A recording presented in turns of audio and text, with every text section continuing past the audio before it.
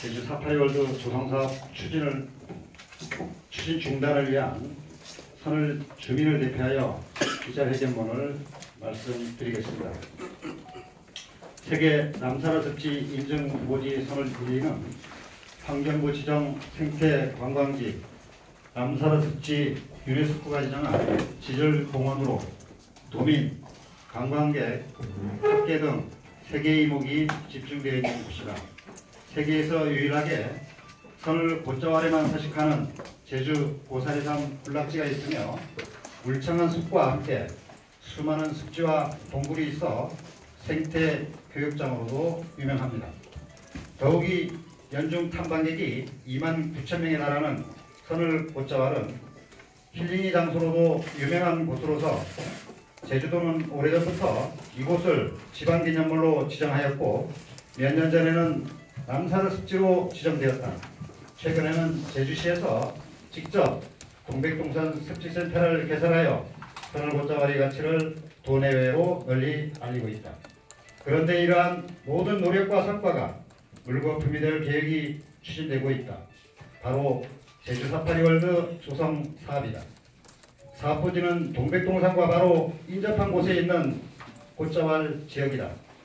사실상 동백동산이 질적 특성과 생태계가 이어지는 선을 곧자왈이라고 할 수 있다. 더욱이 사업부지 주소지는 동북리이지만 실제로는 선을 1, 2와 바로 맞닿아 있다. 그렇기 때문에 이 사업이 계획대로 추진될 경우 직접적인 영향과 피해를 받는 곳은 선을 1위 마을이라고 할 수 있다. 하지만 그동안 사업 추진 과정에서 선을 1위는 논의 과정에서 철저히 배제되어 있었고 목소리를 낼 기회도 없었다. 또 하나 우리 주민들이 분노하는 것은 제주도의 이율 배반적인 모습이다. 산을걷자왈 중 동백동산이 람사르 습지로 지정되고 선을 인류를 중심으로 조천읍이 람사르 습지 인증 추진이 되면서 제주도도 이곳에 동백동산 습지센터를 설립하는 등 이곳에 각별한 관심을 쏟아왔다.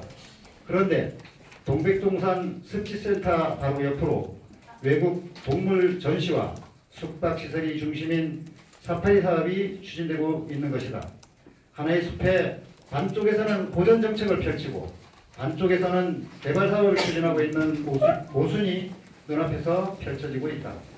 제주의 제주 고유의 숲 곧자왈에 제주와 전혀 어울리지 않는 동물을 풀어놓는 관광시설을 짓겠다는 발상 자체가 황, 황당무계한 것이며 선을 곧자왈의 가치를 현격히 떨어뜨리는 행위이다. 더불어 남대림 지역의 열대지역 습지와 초원지대에 사는 대형동물을 풀어놓겠다는 발상 자체가 위험하다. 이 계획으로 생태계 결함은 불을 보듯 뻔하며 동물이 탈출할 경우 인간에 대한 위협도 문제가 될 수 있다.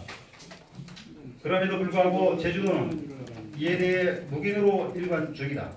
사업부지 중 4, 4분의 1에 달하는 도유지 곧자발이 임대 여부에 대해서도 아직 확실한 입장 표명을 하지 않고 있다. 결국 제주도가 임대를 불허하겠다고 하는 확정하는 순간 사업 계획은 제로에서 시작됨에도 불구하고 아직도 명확한 입장 표명을 하고 있지 않다는 것은 이 사업에 대해서 허가를 낼 가능성이 높다는 의심을 가질 수밖에 없다. 이런 심각한 문제를 인식하고 공감한 선을 이리 주민들은 지난 6월 12일 마을 총회를 통하여 제주 사파리 월드 사업에 대한 반대 입장을 공식적으로 확정하였다. 이에 우리 선을일리 마을회는 다음과 같은 여섯 가지 이유로 이 사업을 반대한다. 만약 제주도와 사업자가 그대로 강행할 경우 강력한 저항을 펼칠 것임을 경고한다. 하나, 제주 고사리산 순체 서식지 등 생태계 파괴와 생물 다양성이 훼손 문제. 동백공사는 현재 산림유전 자원 보호림, 제주도 지정 기념물, 람사르 습지, 세계지질공원으로 지정되어 있는 동백동산과 경계를 같이 하고 있고 동백동산의 생태, 생태축이 이어지는 곳이다. 환경부 멸종위기종인 제주 고사리섬과 수채 군락지이며 백서양 등 특산식물이 대규모로 분포하고 분포하는 곳이다. 또한 하늘이 보이지 않을 정도의 울창한 밀림에만 서식하는 천연 기념물인 팔색조와 긴꼬리 딱새 등 여러 희귀조류가 번식하는 숲이기도 하다. 그리고 사업 부지에 많이 분포하고 있는 습지들은 양서 파충류와 야생 동물의 오아시스 역할을 하는 중요한 곳이기도 하다. 그러나 이 사업이 진행될 경우 이 숲이 갖고 있는 가치는 파괴될 수밖에 없고 이는 바로 인접한 동백동산이 생태계에도 매우 큰 영향을 미칠 것이다. 둘, 도유지 곶자왈이 파괴 문제. 현재 제주도에서는 곶자왈 경계 설정과 관리 보전 방안 마련을 위한 용역이 추진되고 있다. 더불어 곶자왈을 포함한 국립공원 확대 지정을 위한 논의가 진행되고 있으며 사유지 곶자왈을 매입하고 있다. 그런데 정작 이번 예정 사업 부지 중에 25%에 달하는 도유지를 개발 사업으로 내주겠다는 자기 모순에 빠졌다. 이는 제주도의 곶자왈 보존 정책과 정면으로 배치되는 일이다. 셋, 세계적 생태관광지 훼손과 주민 공동체의 미래 계획의 상실감. 선을 곶자왈이 동백동산이 2010년 보호지역으로 이- 아, 2010년 보호지역으로 2011년에는 남사를 습지로 지정되면서 주민들은 동백동산과 습지의 생태적 가치에 눈을 뜨기 시작했다. 하지만 또 한편으로는 보존 지역을 보존 지역으로 지정될 경우 재산권의 제약을 받고 경제적 불이익을 받게 될 걱정도 많이 한 것도 부인할 수 없는 사실이다. 하지만 주민들은 오랜 토론을 거치면서 선을 곶자왈과 마을 비전을 자연과 공존하며 지속 가능한 발전으로 가겠다는 것을 확정하였다. 주민들은 동백동산이 멸종 위기종을 복원하고 대산일련 일에 앞장서고 전 주민이 참여하는 원탁 토론을 통해 중요한 의제를 합의하고 결정해 나갔다. 이러한 6년의 시간을 거치면서 세계적 생태관광지로의 발돋움을 해왔다. 최근에는 주민주도적 생태관광을 토대로 동백동산 보존과 주민의 복리 증진과 지속가능한 마을 공동체의 발전을 목표로 사회적 협동조합 선을 고시라는 곳을 만들어 미래 지속가능한 마을을 만들기 위해 노력해왔다.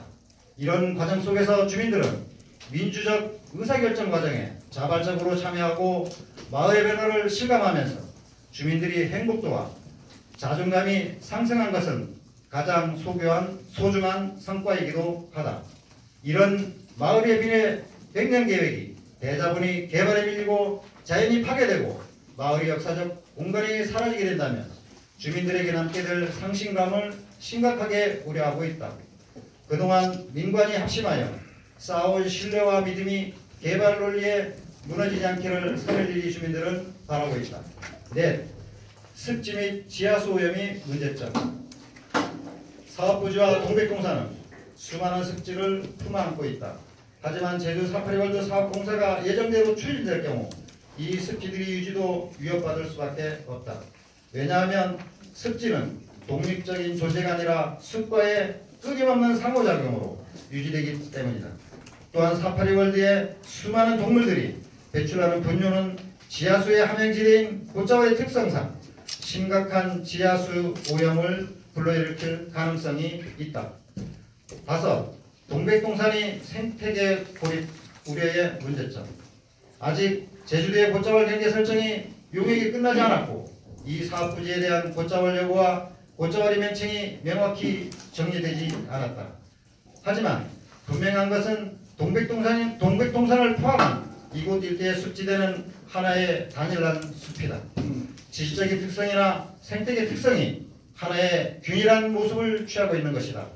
하늘에서 바라보면 드넓은 숲이 펼쳐진 모습은 장관이었으며 평기 중에서도 한반도 최대의 상록 활력 수림이라 칭송받는 곳이기도 하다.